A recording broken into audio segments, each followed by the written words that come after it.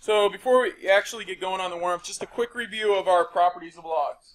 All right, these are in your student journal, but your product property, where if you're adding the same base log, um, you can take the two pieces you're adding, you're taking the log of and multiply them together. Quotient, if you're subtracting the same base log, you take those two pieces you're taking the log of and divide them. And then power, you can move that power, that in, out to the front, in log base b of m. Okay? Then your change of base formula. Remember, usually we'd want to go to base 10 or natural log, um, but the c, you take log of whatever your base is, put it down here, so you have log of c, and then the a goes up, log of a. Okay? All right, so let's do that quick warm up there.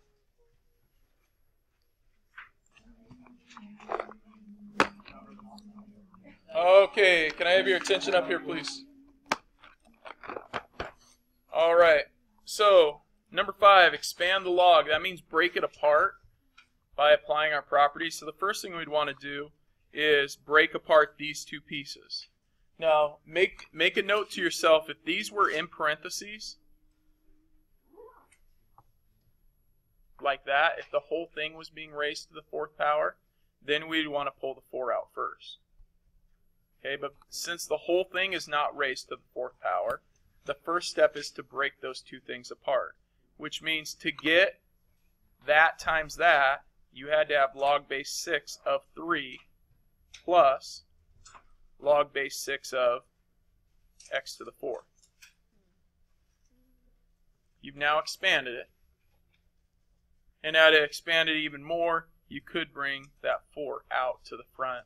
So call it log base 6 of 3 plus 4 log base 6 of x. You've now expanded it. So you've kind of undone the simplifying of it, if you think of it that way. Okay? The same thing here. If you're dividing, really that means you're subtracting the two, right? So we have natural log of 5 minus the natural log of 12x. Now, can we break that apart anymore? Is there not, there's a product right here, right?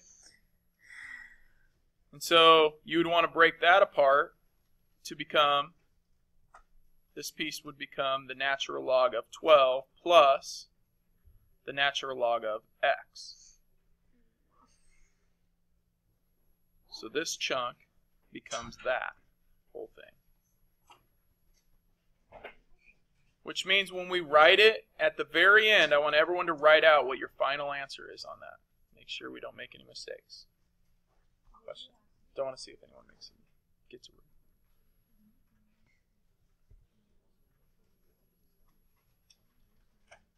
Okay, so Sylvia, go ahead now. Um, don't you have to put parentheses around the log of 12 and the log of x? Yeah. Because otherwise it's not a positive sign. Or, oops. Yeah, you have to put parentheses around the whole thing because you're subtracting that whole thing. Okay? Either that or you'd have to do minus and minus, distribute the negative. Which is the other way. You could write it as, um, put it like that, or you could say ln 5 minus ln 12 minus ln x. That would be fine as well.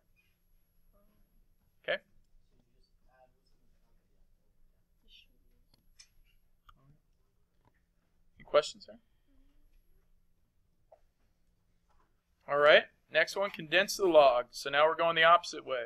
So subtracting, that becomes log base x of, or x over 9. And this one, we have ln, we have 3 ln, and we have ln. So what do we have to do first? Yeah. Yeah, you can't have that 3 out there. They have to have all the same coefficient in front. So now we have, this part becomes ln 3 cubed. I'm going to leave it like that for now. Okay, and so now I have ln 4 plus ln 3 cubed So that is ln 4 times 3 cubed. And ln 12, so we're subtracting, so it's divided by 12. Everyone see how it all fit together? Okay, so this whole piece up here is being divided by that, so we use the quotient property there. And then from there, we'll go ahead and simplify it. So 3 cubed is 81, or excuse me, is 27. Okay, and 27 times 4 is 108 over 12, which is actually 9.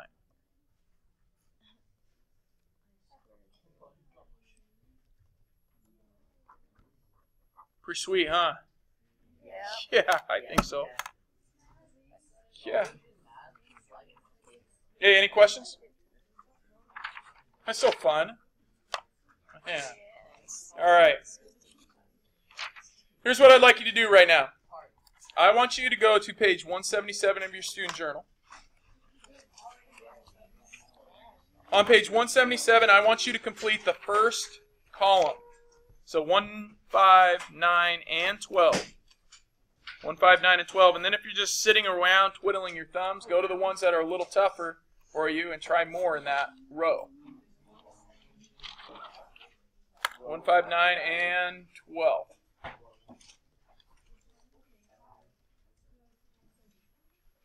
Okay, to make sure we're all on the same page, well, hopefully we're all on page 177. Ah. Thank you. Okay. Um, just to double check number one, see how you're doing. Number one. So you're using a calculator. Well, not actually using a calculator for, but you're. I'm guessing that some of you were using a calculator to add those up. Okay, a lot of you are on our calculators, but it if you remember how to add decimals, I know that we get so used to calculate, you're just stacking them and adding, right? Okay, so 5.907. You got it, man. All right, so we got to first write it in this format, break it apart into log base 2 of 5 and log base 2 of 12. Recognize 5 times 12 is 60. Okay, and number 5. Yes. Yes. So, oh, we found the words in there. I was just wondering how you would do the work for number two, like, because number one, like, how you would and number five. Yes. Yes.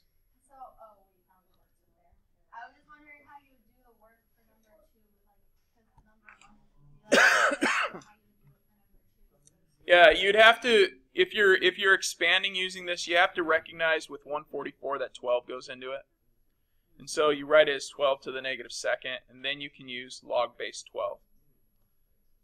Bring that negative 2 out, so negative 2 log base 12, so log base log base 2 of 12, excuse me. Log base 2 of 12, 3.585, and then multiply by negative 2. So really, each time it's trying to figure out how you can make these in base 12, or excuse me, taking the log of 12 and log of 25, or the log of 12 and log of 5. Okay, so like in 72, you have 5 times 5 times 12 to the second power, or 5 times 144. Okay, so if you can break it into that, that wasn't up there, then you're able to use that log base 2 of 5 and log base 2 of 12, use these actual values. Okay, so if you're struggling with any of those, try try them out. You'll have some on your assignment today. Number five, expand the log. So you're multiplying here. So using the product property, you're actually going to add the two um, individual pieces together. So it'd be 10 plus x, so log of 10 plus the log of x. Log of 10 is 1 because that's log base 10 of 10. Log of x. Number niner, you're condensing them. So you end up with log base 2 of 3 times 8, log base 2 of 24. 24 is not a base 2, so you can't do anything with that. So you leave it. Any questions so far? Number 12. Number 12, we have our log base 2 of 625 divided by 125, same base. Okay, you'd have to bring the one-third in to be able to deal with this. So I've divided these two, and then I'm adding that one. Okay, this actually simplifies. I'm going to simplify it first. So 27 to the one-third power is 3. 625 divided by 125 is 5. So that makes it a lot prettier, aesthetically pleasing at least. Okay, log base 2 of 5 plus log base 2 of 3 is log base 2 of 15. How many got that one? All right. Good. All right. Hey, I want you to go ahead and turn the page. On the next page, I want you to give numbers 14, 14 through 17 a go.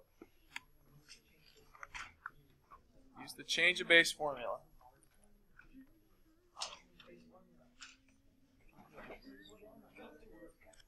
Remember, if you have to, look back to your student journal.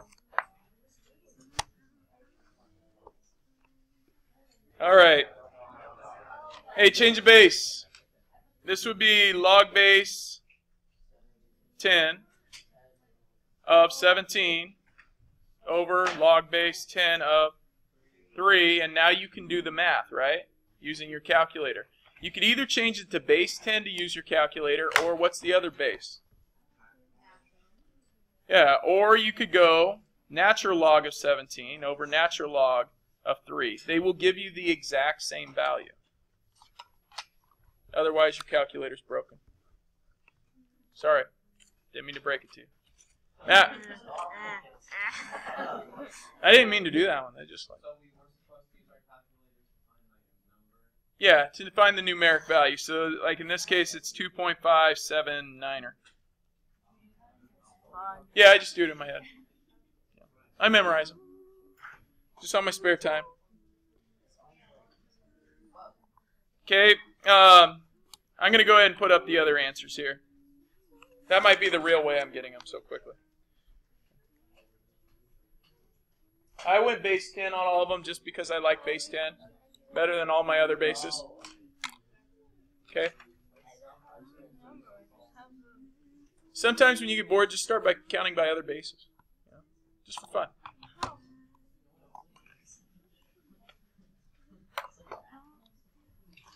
All right. Questions? Right. Someone check my work on 16. Sylvia's getting a different value. Let's see.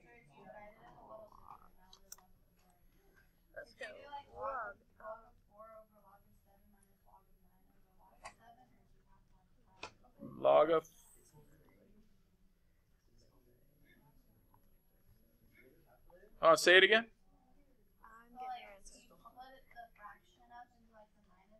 base. You could. It would. Yeah, it's more work.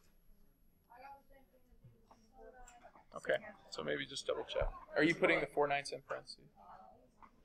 Okay. Okay. Last problem before we move on. Sylvia, I'll look at it with you. Number 18. Give number 18 a go.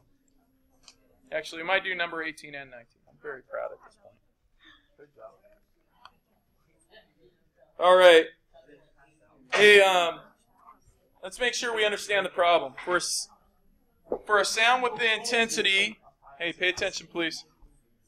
For sound with the intensity of I, the loudness of L of um, of the sound in decibels is given by this function, where I sub zero is the intensity intensity of barely audible sound, so about 10 to the negative 12.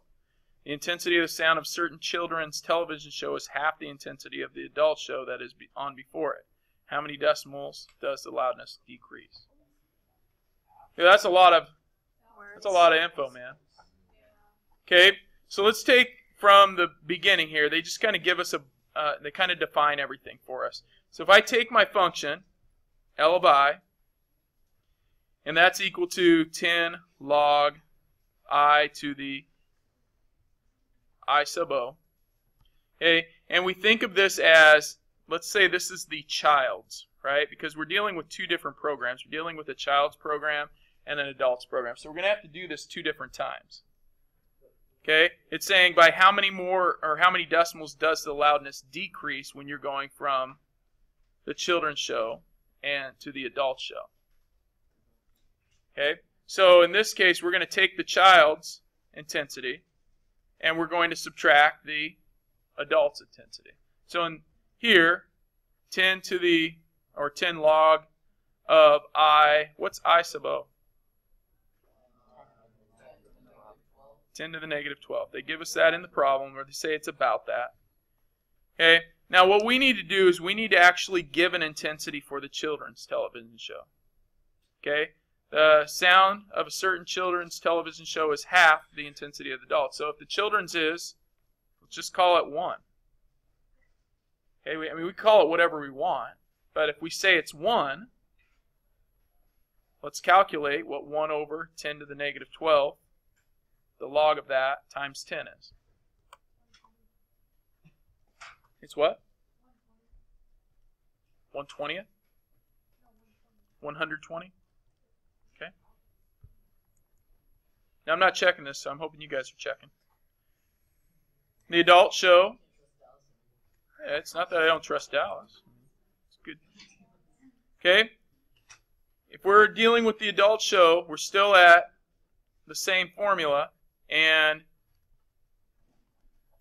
the I sub O is still 10 to the negative 12. It's just that this number is, it's twice that, right? So it would be 2. So what do we end up with there?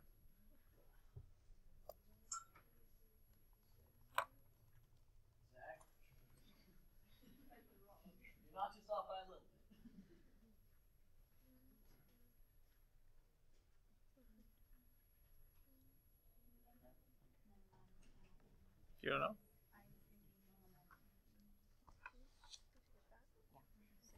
Anyone get the number here? Matt, what do you got? What's that? Three? Oh, 123. Exactly?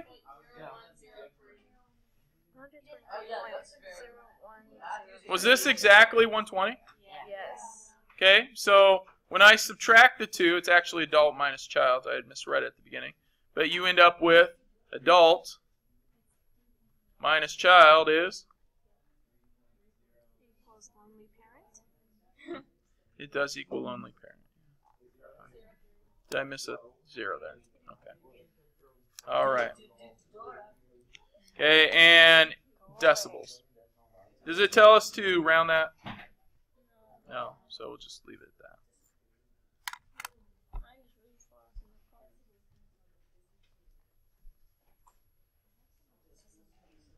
Man. Hey, we're going to actually be done. We're not going to worry about number 19. Just very similar stuff, just applying a different formula. So if you want to try it, you can. But any questions?